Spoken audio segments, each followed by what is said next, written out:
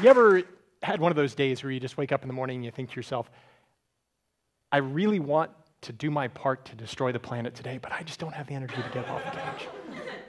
And I'm definitely not getting up off the couch until I at least finish this marathon of uh, Here Comes Honey Boo. But what if I told you that you can now destroy the planet from the comfort of your own home? You've always been able to do it, actually. We've been doing it for millennia. Because every time we flip on a light switch, we hear the hum of the refrigerator, we do anything that makes our day to day lives comfortable at home, we do our part to put a little greenhouse gas up into the atmosphere. This number 350 here on the screen is the number that Bill McKibben says is the most important number in the entire planet, a number that every human being needs to know. This is the number that James Hansen and a group of climate scientists say that above this number of carbon dioxide parts per million in the atmosphere, sustained for any given period of time, and we can no longer sustain the climate to which all of humanity, wildlife, and our biosphere has adapted. This is what I consider to be the most important number on the planet.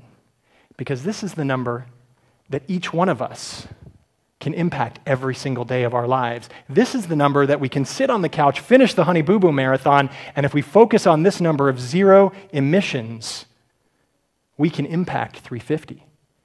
So we can indeed save the planet from the comfort of our own home.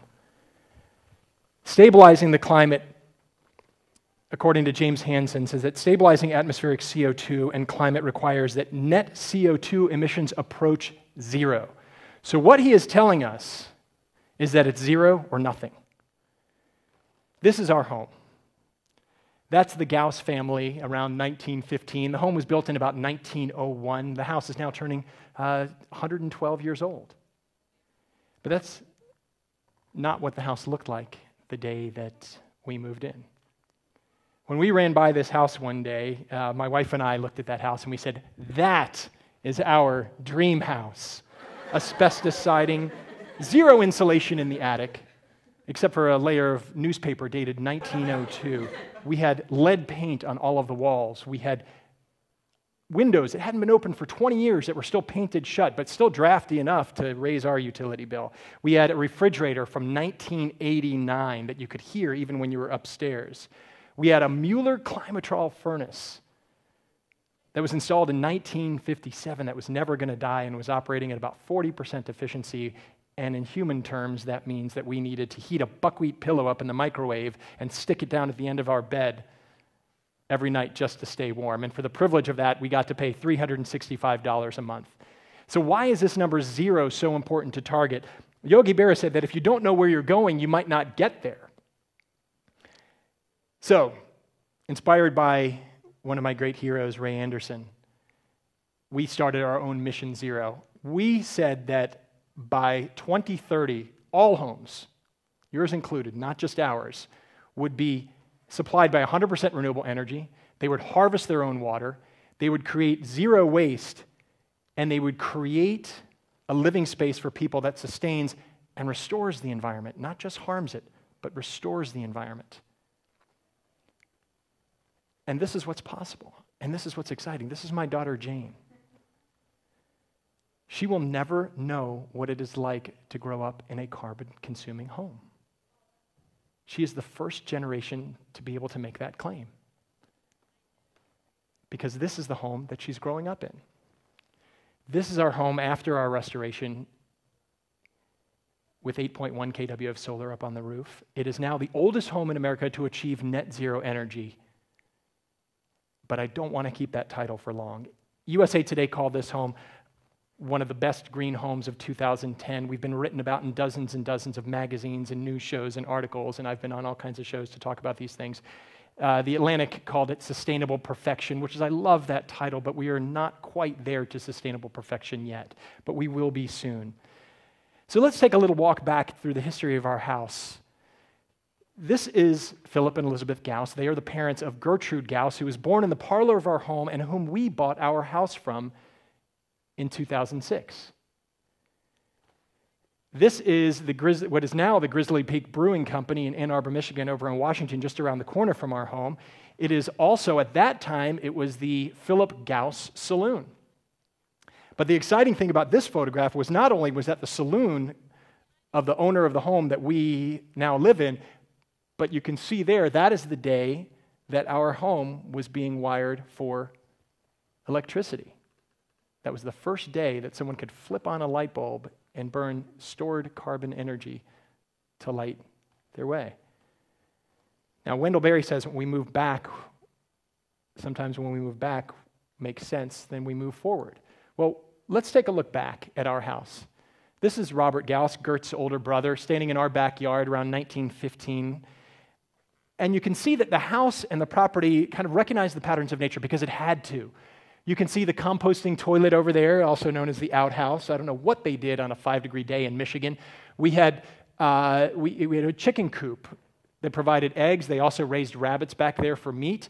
There was a garden in the back. We still have a garden now. There's a cistern that captured all the rainwater for all the agriculture and things that they were growing to supply their own home on the property. There was a small well that brought up fresh water for the small amount of fresh water that they needed each day to drink.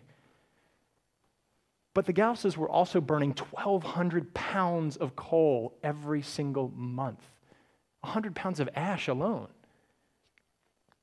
The products that they brought into their house were often made locally, right in downtown Ann Arbor. But they were taking all of their waste and dumping it into streams, so much so that to this day, that creek is now buried under the ground, and most people in Ann Arbor don't even know that creek exists. It is now officially a sewer that drains out to the Huron River. In colonial times, the average home was consuming 15 to 20 cords of wood to cook and heat their homes. That's a pile of wood, imagine this, four feet wide, 16 feet high, and 40 feet long, longer than the length of this stage.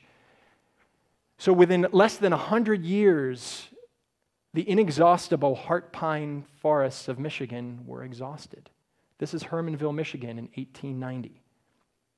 We destroyed all of the trees in Michigan in less than 100 years before the population of the world hit 1 billion.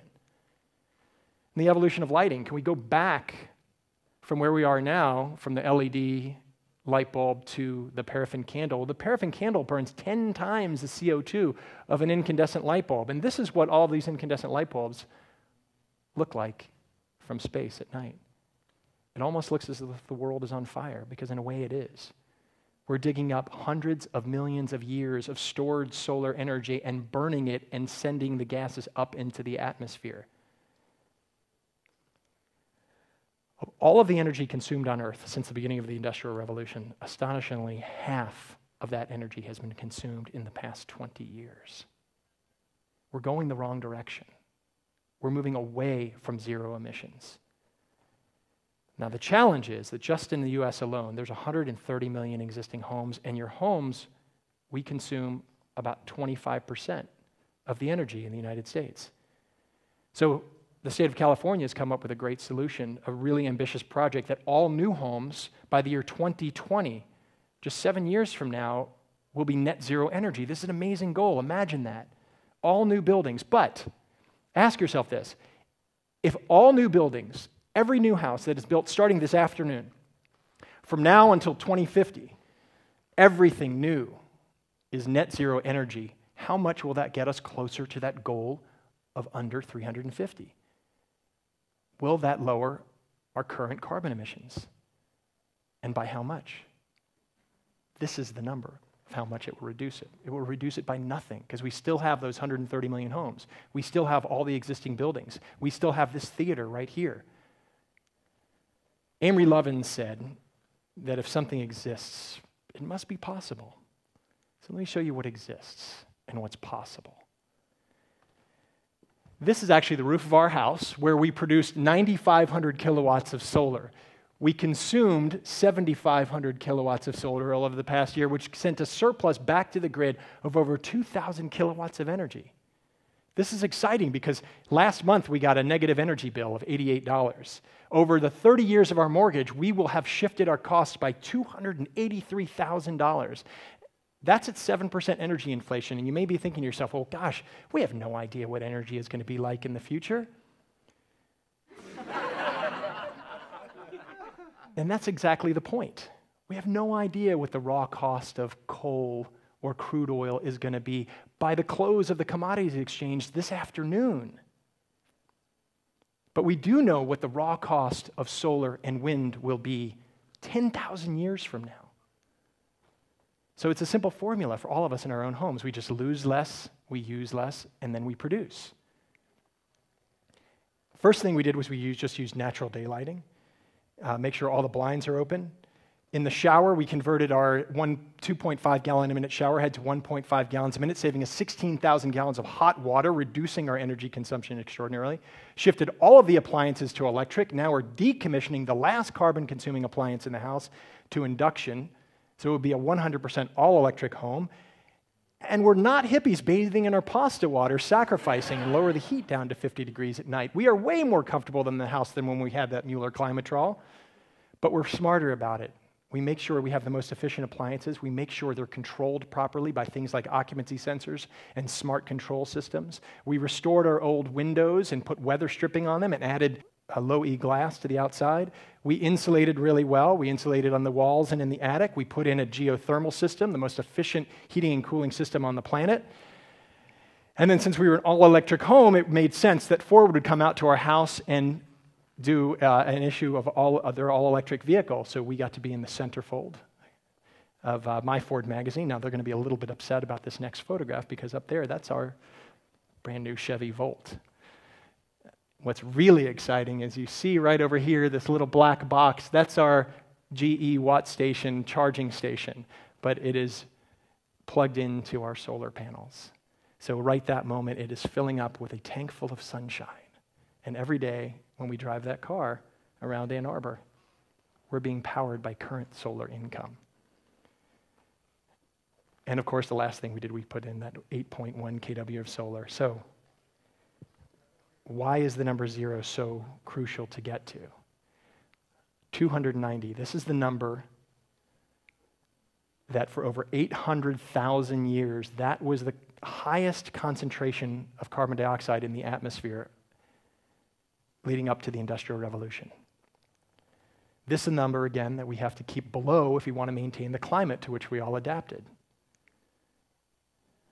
397 is where we peaked in June of this year. So, the UN Convention on Climate Change did a little study. They decided to take all of the pledges that were voluntary, that every country that committed to this pledge did, for lowering their carbon emissions. And they wanted to know by 2100 if we all meet those targets that we've all pledged to around the globe, where will the concentration of CO2 in the atmosphere be? And this was the number they came up with. That's a world with no ice by 2100. This is my daughter, Jane. She'll be 92 in the year 2100. We're not talking about the storms of our grandchildren. We're talking about our storms. We're talking about our lifetimes and our children's lifetimes. Bill Bryson said that the greatest possible irony would be in our endless quest to fill our lives with comfort and joy that we created a world with had neither. But it's not an either or opportunity. By shifting to an emissions free, a carbon emissions free world in our homes, we can live better lives than when we were addicted to fossil fuels. And the exciting thing about this number zero, when we really redefine home, is that when you, you look at what my family has done in our house and you think, if we could do this here in Michigan, then anybody can. If anybody can, then everybody can, including you. Thank you.